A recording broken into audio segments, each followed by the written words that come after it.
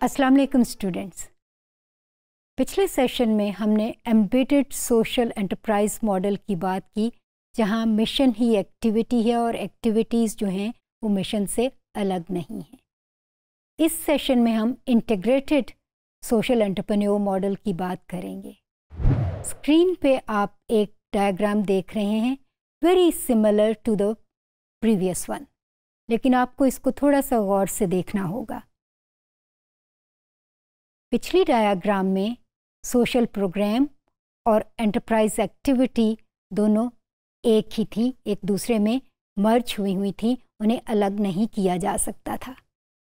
इस डायग्राम में social programme एक डिस्टिंक्ट जो स्केयर है, वो है, और एंटरप्राइज एक्टिविटी जो है, वो एक ट्रायंगल है।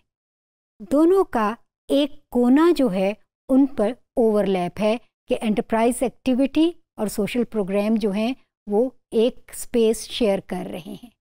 That is integrated model of social entrepreneurship entrepreneurial terms में या प्रैक्टिस में इसका मतलब क्या है?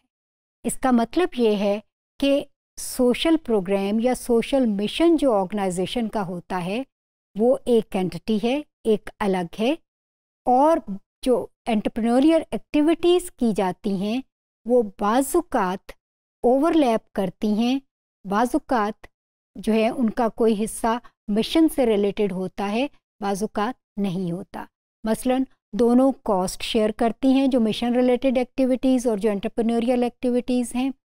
दोनों में जो है वो स्टाफ की शेयरिंग होती है, वही लोग हैं जो कि कॉज के लिए काम कर रहे हैं और वही लोग जो हैं वो एंटरप्रेन्योरियल एक्टिविटीज़ कर रहे हैं। लेकिन जो सोशल सर्विसेज़ के या सोशल प्रोग्राम के बेनिफिशरीज़ हैं, ज़रूरी नहीं है वो एंटरप्रेन्योरियल एक्टिविटीज़ में डायरेक्टली शामिल हों बाज शामिल हो भी सकते हैं। उनके बेनिफिशरीज़ जो हैं वो अलग हो सकते हैं, क्योंकि जो एंटरप्रेन्योरियल एक्टिविटी है, कोई प्रोडक्ट जो बना रहा है या एंटरप्राइज ज़रूरी नहीं है वो उन्हीं लोगों को चाहिए हो जिनके लिए सोशल सर्विस दी जा रही है। इंटीग्रेटेड मॉडल जो है उसका बेसिकली मकसद जो है वो मुख्तलिफ़ स्टेक होल्डर्स को एक जगह लाना एक शेयरिंग की जो अंडरस्टैंडिंग की आ, जो फीलिंग है वो डेवलप करना। इस तरह के लोग उस कॉज में सोशल कॉज या सोशल मिशन में कंट्रीब्यूट कर सकें।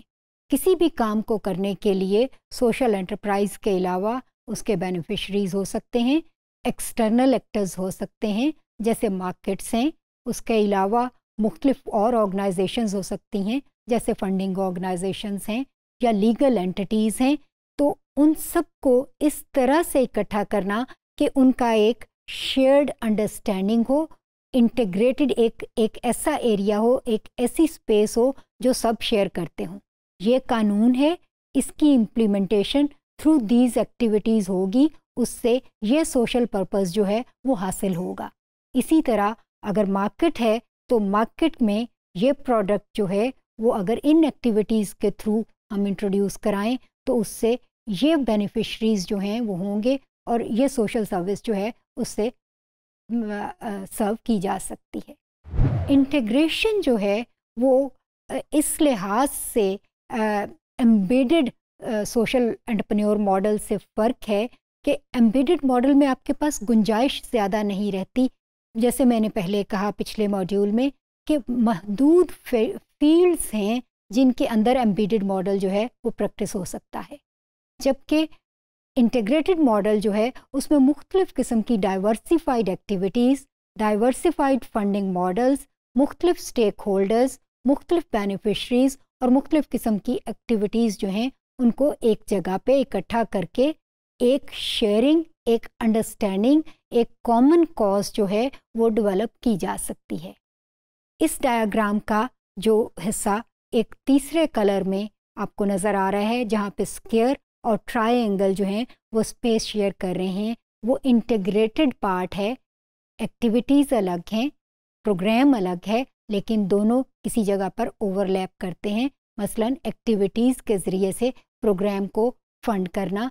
जैसा पिछले मॉड्यूल में मैंने अयोना एंटरप्राइज़ की आपको एग्जांपल दी थी कि एल्डरली केयर का प्रोग्राम है, लेकिन कमर्शियल एक्टिविटी एल्डरली केयर की के ज़रिए वो अपने मिशन को सर्व कर रहे हैं so this is integrated model of social entrepreneurship. Thank you